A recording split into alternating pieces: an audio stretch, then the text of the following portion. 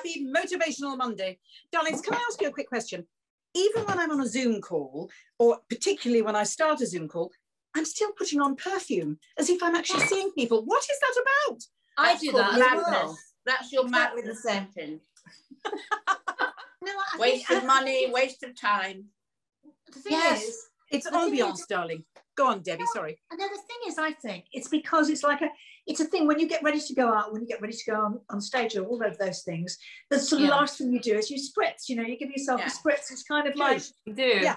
it's a zhuzh, isn't it? So it gives Yeah. you that sort of like little, Like, well, that's not, Yeah. Anyway. So, Sherrie, am I hearing you like to smell? Is that what you're saying? No, I, I mean, this isn't smelly vision, if that's what you thought, Harriet. So we can't smell you at all. But I, I, I just think. I mean, I, I have perfume and I, I constantly spray it on me anyway for no you- reason whatsoever. There Yeah. you go. Even all if I do don't it. go out, even if Yes. I get a cup of I do it every day, but it's the Zoom call. I do it in the morning, and I like you. it's crazy. It's a Zoom. What must Yeah. I? Praise, So- and now- praise, right. The room looks good too, doesn't it? The room looks good. I mean, it smells good. Yeah. well, we have the amazing and talented Caroline Redman Lusher. are we going to see a bit of film first? Sorry to interrupt We are. Dee. We are. Yeah. Now, I'll, I'll tell you about Caroline because Caroline has created Rock Choir, which has expanded beyond belief and done so much amazing things for so many people. Um, we, we see a clip now of the video, The Rock Choir.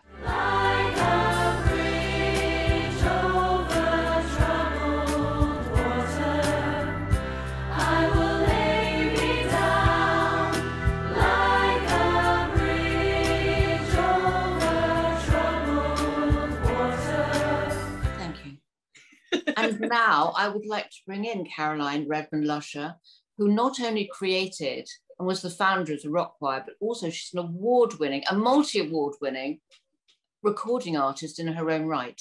Caroline, where are you? Hi, Caroline. Everything. Hi. Welcome to our nest. Thank you for Lovely to see having you. me. It's a very glamorous nest. Uh, Thank thank you, you. darling. We'll pay you Lovely later. to see you. And the hat is truly outstanding, Dee. Oh, thank you, Caroline. Well, this is actually the, the, the hat which was designed by Judith Benting. I've worn it a couple of times, but as oh. Ascot's coming up, I thought, Oh, very good. And is there anything it. at the back? Is there anything? Well, look at this. Look, Oh, there is. You can wear it that way as well. Oh, I do. why I do like it that way, and it matches your love that. top. So Dee. that, That's fabulous, darling. Oh, thank you, thank you. I'll talk to you about that afterwards, Caroline. Anyway, Okay. Caroline, this is about this is about you oh, and all the wonderful things that you've done, and the rock choir, which huge congratulations thank you. because it's gone from strength to strength, hasn't it?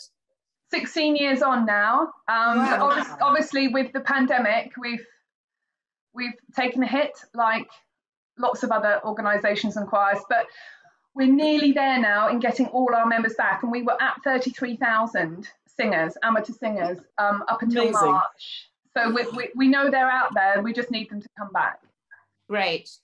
And how does it all? Tell us about it. How did how did it all start, and how does it work? Well, it's, it's interesting because years and years ago, I used to be um, a lounge singer up in London. I used to play in, and sing in the London hotels like the Dorchester and places like that. And I'd done that for years since I was 15. I'd lied about my age to various establishments and um, and earned some cash singing and playing. And I was basically um, working on my craft. I wanted to be a performer and a singer.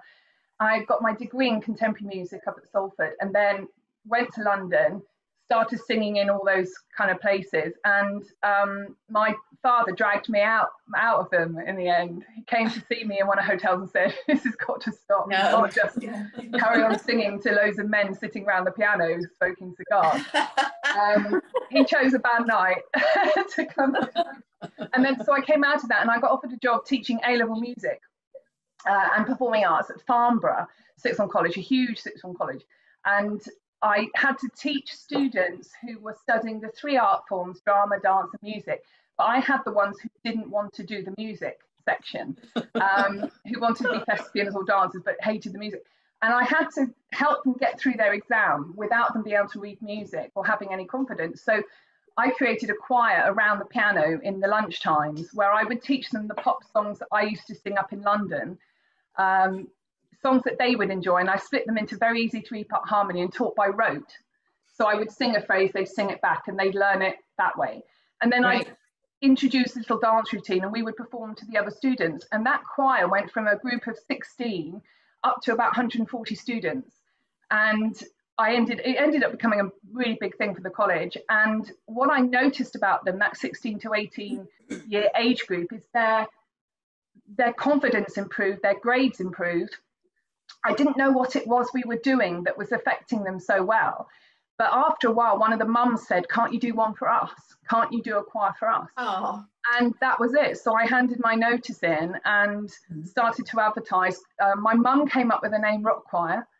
And um, in Farnham in Surrey, I put posters up in a couple of cafes, and along came 70 people on the first night. oh, Wow. Um, uh, I didn't know if anyone would go. We put some chairs out. Oh God, I've quit my job. you know. um, and they they arrived, and, and by the end of the first hour and a half, they were on their feet, shouting, cheering. Some of them were crying. They'd been told years ago that they couldn't sing by their singing teacher at school. Um, a huge boost of emotion and confidence from that first session, and it literally went from strength to strength. In my area, alone geographically, I ran as many choirs as I could. Then I took on my first musician and trained her for a year. And I kept saying to her, I, I don't know what it is that's having this emotional impact on people, but their lives are changing because of the group singing element each week. Now, of course, 16 years, I totally know what's going on in the brain and the impact singing has. But I now have 80 musicians working in the team. I have full time staff of 30 uh, at HQ in Farnham, and we are in 400 communities across the country with 33,000 singers. So Fabulous. the whole thing just, Mind just blowing. crazy. Yeah. Mind blowing. that's mind Amazing. Really is absolutely And it's incredible. meant, it's meant to be a glamorous, pla- multi-layered experience. It's not just singing each week. It's the, the diary gets filled up with events and socials and performances. Yeah. Friendships are made. Um, confidence is built. Learning new skills. Going on stage, even at the local Christmas lights, is a huge event for a lot of people um, to go up in front of their friends and family. So suddenly they're full of joy, and their their family can't believe that their mum has been on stage, and you know, and all the friendships that are made, they then celebrate afterwards, and and they've got something to to share. Because it's really hard to meet people, meet new friends when you're older. Yeah. You're not in any any kind of platform where you can meet other people apart from maybe your job. So Yeah, it's true. communities, 400 communities, all connected. We bring them together every few years at Big Arena. So they all sing together and they all dance together um, to all Oh. 30, 40 songs that they've been learning, but all pop songs. So very different from Oh. the, the kind of classical choir. Um, yeah, and it's just, it's just made it, you know. I, I know how important music is. It's very important to me um, for memories and uh, you know things that make you cry, which sometimes you want to, and things that make you get up and just get out there. Chuck Berry, you never can tell. If ever you want to have a song that makes you get up and go, use that Yeah. song, Chuck Yeah. Berry. But I work for a company called Avery, and they have lovely homes of people retiring. But some of them some of the floors are Alzheimer's and um, uh, you know particular floors and then dementia floors. And so I go to their, you know, I visit the homes and see everybody, and they have their music days. And I have actually seen miracles happen with music. I mean, ladies or men that are sitting in chairs, quite advanced dementia and Alzheimer's, and haven't moved for a long time. I was there one day and the guy who was an Elvis impersonator came on and sang. And I went over and put my hands out, and the two ladies put their hands out to me, stood up, and were rocking to that music, literally mm. rocking to that music. Because the memory somewhere of that music brought them together. Admittedly, when the music was over, they sat down. First of all, it, it was very emotional, but I realized what music meant, and you must see that all the time. Well, it's interesting with dementia and Alzheimer's because the part of the brain that um, has musical memory isn't affected, isn't usually affected by those diseases. And yes. it means that if, if that person who's suffering from dementia and Alzheimer's listens to a song that meant a lot to them, at some point in their lives, it actually they'll remember it because it's not been affected. They haven't lost that. Uh, Wow. So that doesn't it doesn't surprise me that the two ladies heard the song and stood up because they would have danced to it years ago. Years ago. Um, and they, and then they go back when the song is over because Yes. that part of the brain has is it's, it's been triggered and then it's not triggered yeah. So it's really it's really interesting what music can do and and you do hear about the, the those kind of establishments having musicians in to sing those older songs um Yeah. relate to the youth of the people who are in there But, but you, what you were saying about, you know, all those people coming and 400 people together and what it does to those people and gives them a life and gives them a, you know, and some hope. And it it's joyous, must be joyous to watch it it, happen. it's highly emotional we're all crying all the time in rock choir Yeah. I mean, it's just You are. really- there's always something. There's always a drama and something emotional. But certainly when when we bring everyone together yeah there, there is an energy in in the arena that you just can't capture on on video. You know we watch it afterwards and go where where where, where was that magic? You know and it, it's Yeah. having, having all those souls together all breathing together together at the same time and that you just can't beat it. And certainly i mean alzheimer's dementia which is so um so important um, to, to, to bring music to those people.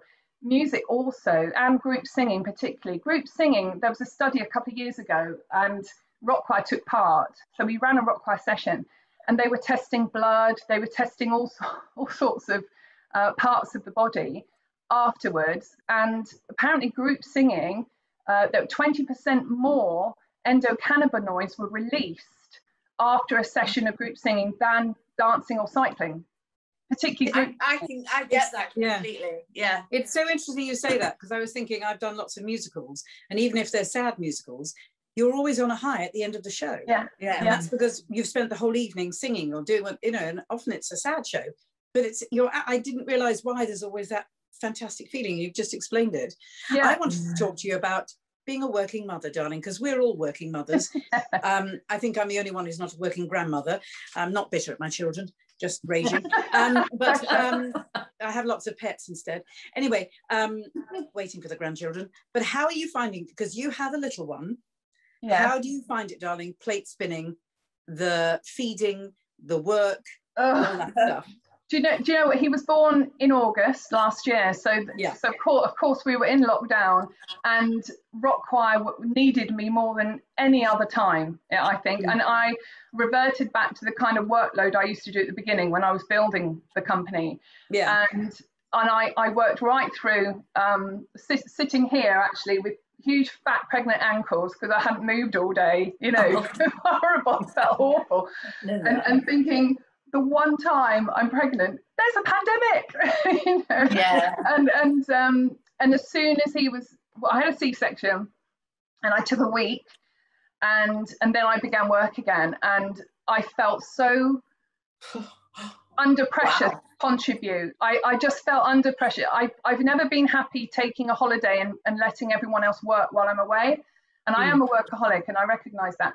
But I, I took the baby in um, to meet the team. Some, oh, I say in, it was all social distancing everything Yeah. but my one of my colleagues was I caught her crying. I caught her crying because she was under so much pressure, and I just thought I have to help. I can't Mm. lounge about taking. I'm not lounge. It's not that's offensive to, to, to, you to kidding? what I'm about. But you know, as in at home, just doing one thing.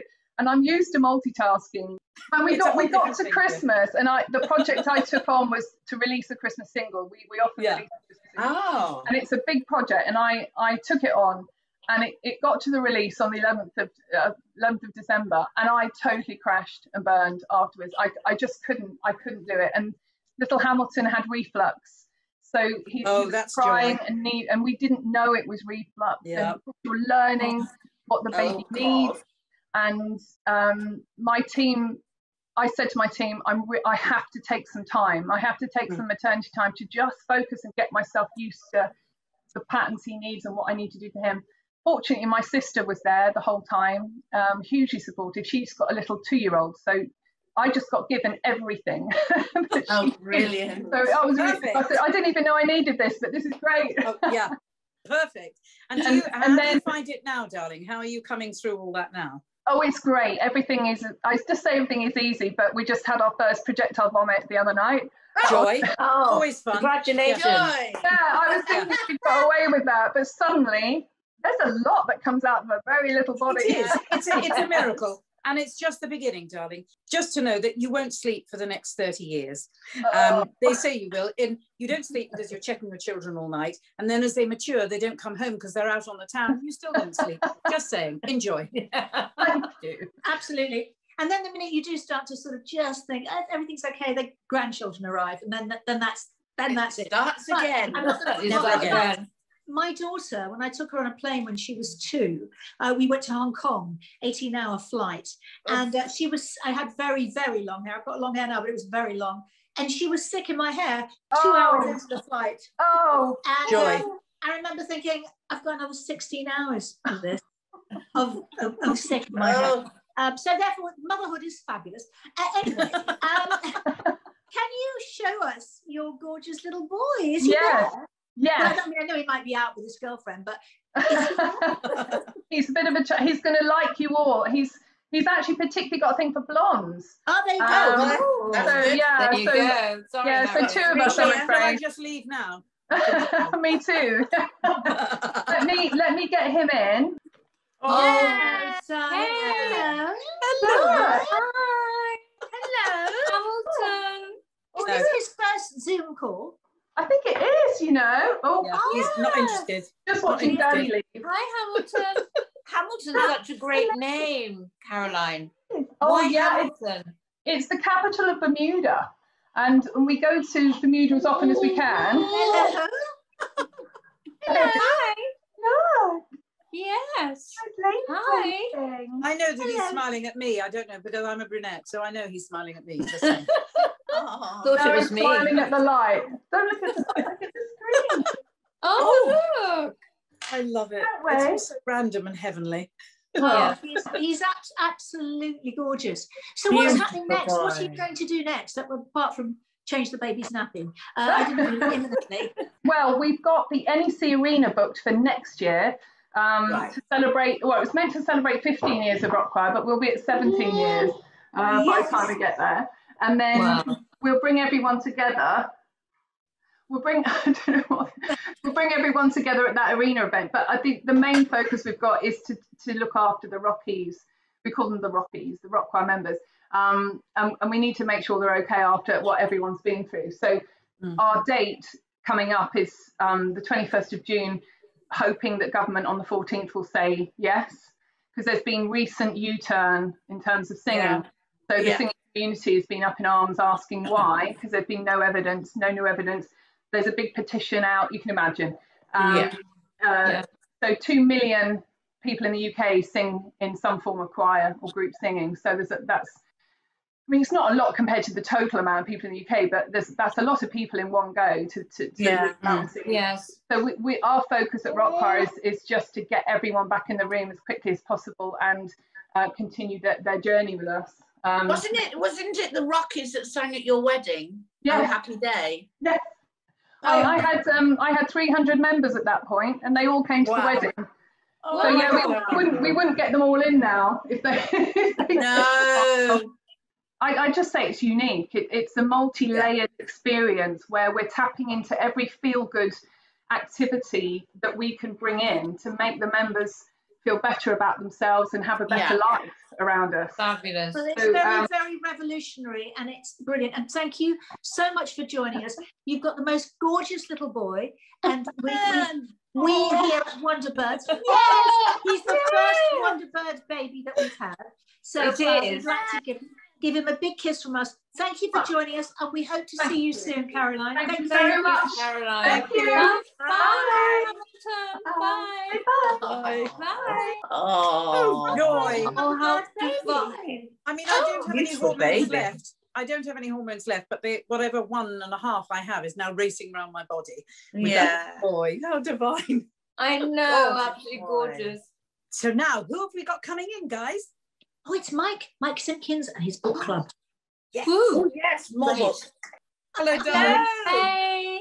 Hello, Welcome back. Wonderbirds. Good afternoon. How lovely to see you all. And lovely to see you. What Hey, is on the, what have you got today for us? Well, one of the advantages of, of being an unpaid book reviewer is that you can choose what you like. Yes. Yes. And if you choose to sack me because you don't like my choices, then it doesn't really matter. Uh, but you'd miss us, darling, wouldn't you? I You'd would. miss I'd us. miss, I'd Yeah. miss that hat, I'll tell you. Yes, I know. I like that hat. All I can say Thank is you. Somewhere in London there's a Ford Fiesta without any seat covers on it. and uh, Very true.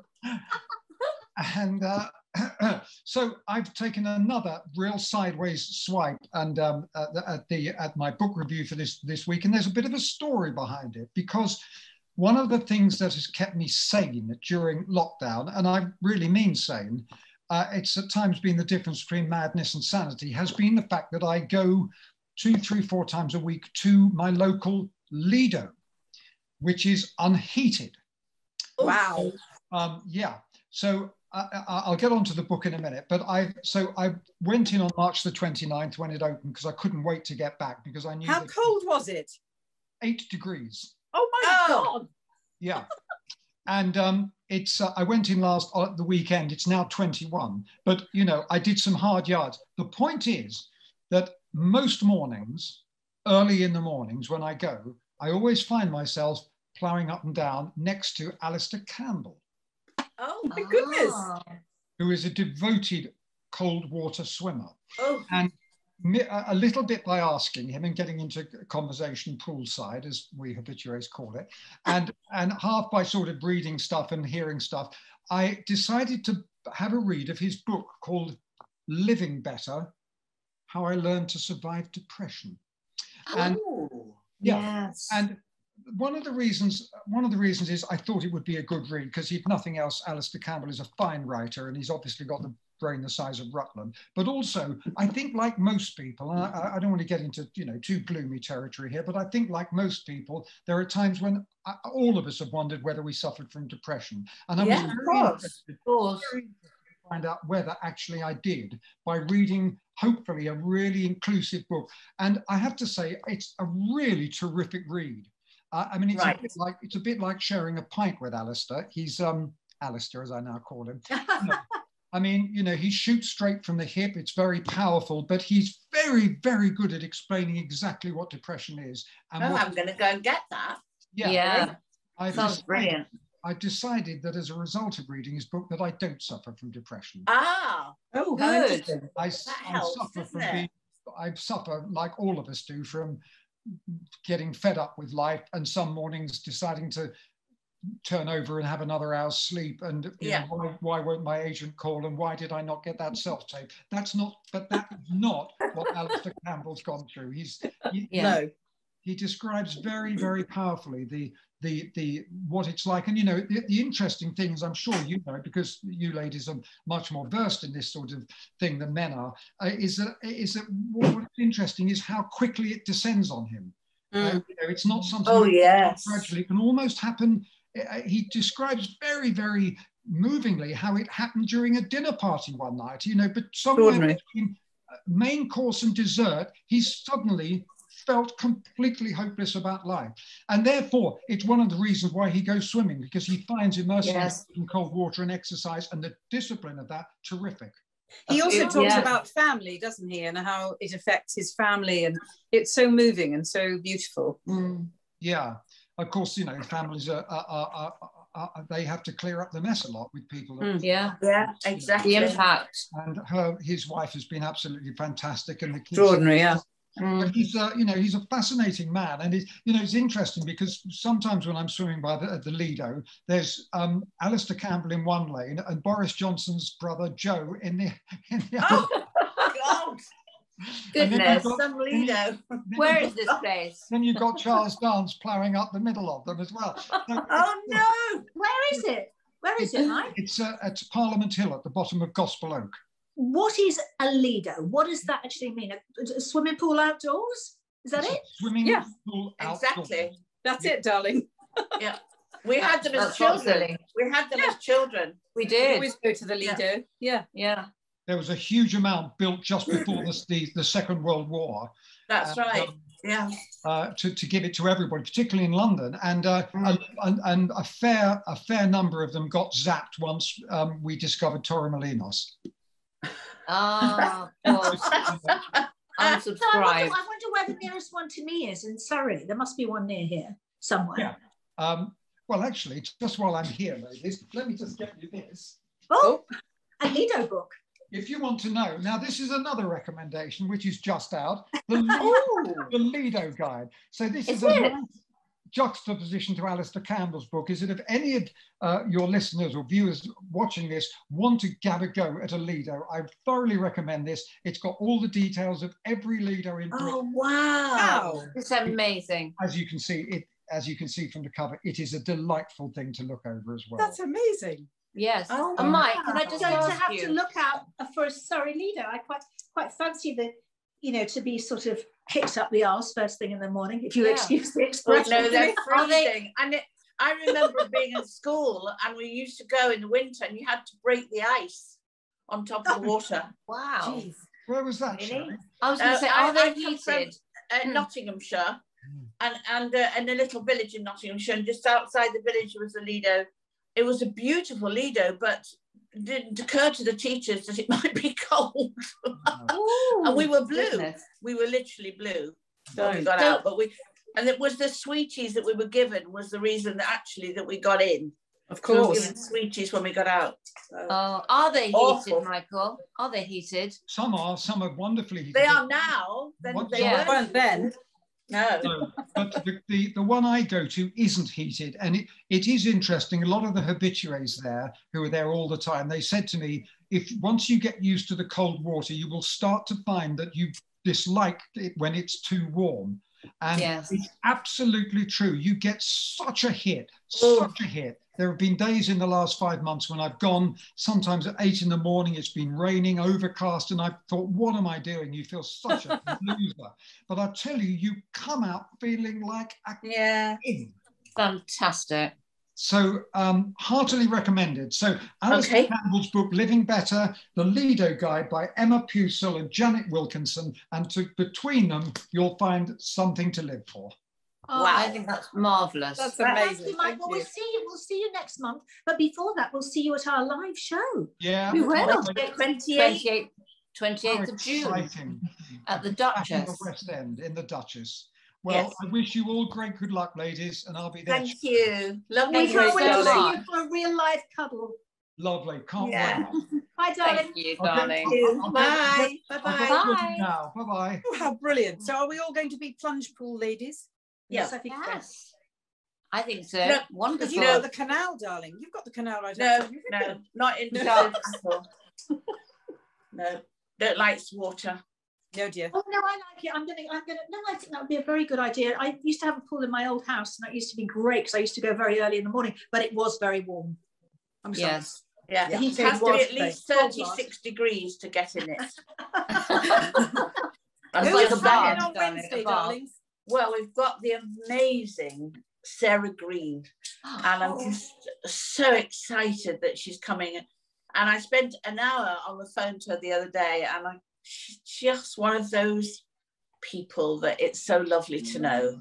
I'm so excited. but that's- uh, but before then, tomorrow at 4:30, we have got the second episode of The Dead Agent. So don't dun, forget dun. to watch it tomorrow at 4.30, the case of the dead agent, which is being solved by the Wonderbirds or, or not, as the case. We may be. yes. Ooh. Who did it? Who Who done it? Who did Let's it? wait and see. Who did it? Who Who done it, mate? Oh, done, done it, it? darling.